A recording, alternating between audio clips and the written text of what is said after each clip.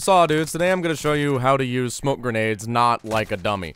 Uh, smoke grenades are very useful tools, but if you use them wrong, you're actually going to hurt your team more than you're going to help them.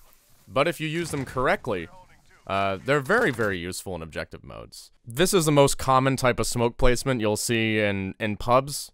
Uh, basically, you're just going to pop a smoke grenade to keep people from getting shots on you from long range.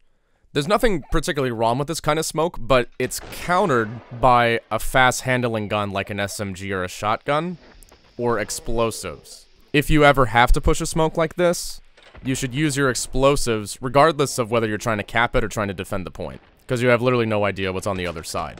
So, it kind of helps and it hurts both sides depending on uh, who has the better aim and who has the better perks. If somebody has EOD, good luck. This is what I like to do with smokes.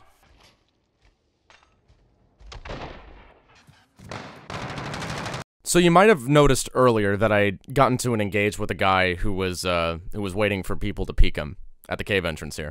Now, if he hits his shots here, I'm dead, so I got pretty lucky.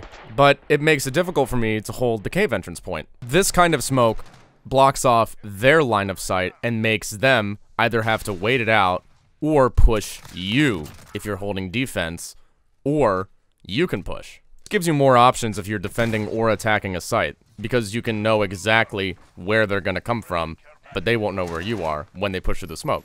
Here you can block off the mine carts and keep people from holding angles behind cover from those uh, from those coal carts in the back. And I have a tac insert here, and all I pretty much have to do, win my one, satchel, got rid of that guy, smoke it off again. Now they can't shoot us from the mine carts, unless they hard push.